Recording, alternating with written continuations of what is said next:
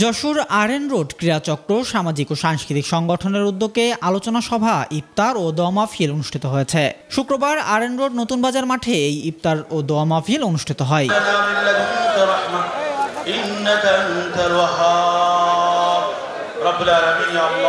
ইফতারের আগে আলোচনা সভায় সভাপতিত্ব করেন খান মোহাম্মদ শফিক রতন। বক্তব্য রাখেন জেলা পরিষদের চেয়ারম্যান সাইফুজ্জামান পিকুল সদর উপজেলা পরিষদের চেয়ারম্যান মোস্তফা ফরিদ আহমেদ চৌধুরী। সম্মিলিত সাংস্কৃতিক জোট যশোরের সাধারণ সম্পাদক সানোয়ার আলম খাম দুলুর উপস্থাপনায় স্বাগত বক্তব্য রাখেন গোলাম ফারুক লিটন।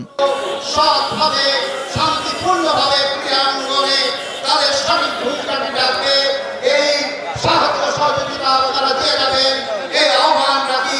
এছাড়াও উপস্থিত ছিলেন ক্রীড়া সংগঠক আরএন রোড ক্রীড়া চক্রের সভাপতি জাহাঙ্গীর শিকদার, সাধারণ সম্পাদক মোস্তফা গোলাম কাদের, খান মোহাম্মদ রফিক শকু, যশোর সংবাদপত্র পরিষদের সভাপতি ও দৈনিক কল্যাণ সম্পাদক ইকরামুদ্দৌলা জেলা ফুটবল অ্যাসোসিয়েশনের সভাপতি Asaduzzaman, advocate Shahid Anwar, Ziaur Rahman Biplob, advocate Borhan Uddin, Shahinur Rahman Thandu, Anwar Hossain Sabuj, Faruk Hossain, Ripon auto limited chairman ও দৈনিক কল্যাণের ব্যবস্থাপনা সম্পাদক এজাজউদ্দিন টিপু, যশোর কলেজের অধ্যক্ষ মোস্তাক হোসেন সিম্বা জেলা ক্রীড়া সংস্থার অতিরিক্ত সাধারণ সম্পাদক এম এ আকসাদ সিদ্দিকী সৈবল আসাদুল্লাহ খান বিপ্লব সহ আরও অনেকেই।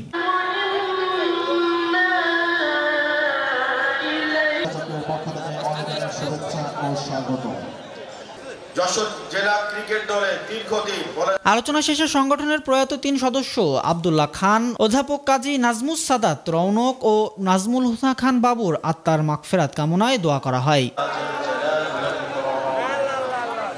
ربنا ظلمنا أنفسنا وإن لم تغفر لنا وترحمنا لنكونن من الخاسرين أمة محمد কে মাফ করে দাও ডেস্ক রিপোর্ট দৈনিক কল্যাণ